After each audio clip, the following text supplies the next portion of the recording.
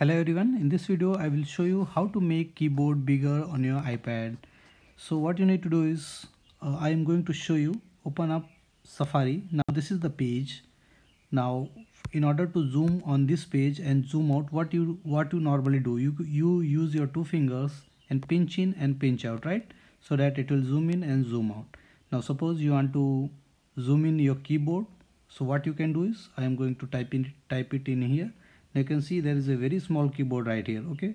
So go to the keyboard use two fingers just like you use on any safari page or anywhere else to zoom or zoom in or zoom out okay? So right now as you can see it is the small keyboard. Simply use your two fingers and pinch out okay? So it will just turn bigger.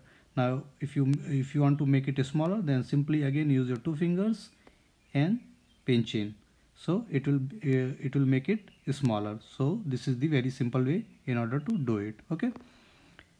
So you can use this uh, on any page or anywhere where the keyboard opens up right? You can simply zoom in and zoom out. So thank you for watching the video. Please like it and subscribe to my youtube channel for more videos just like this. Thank you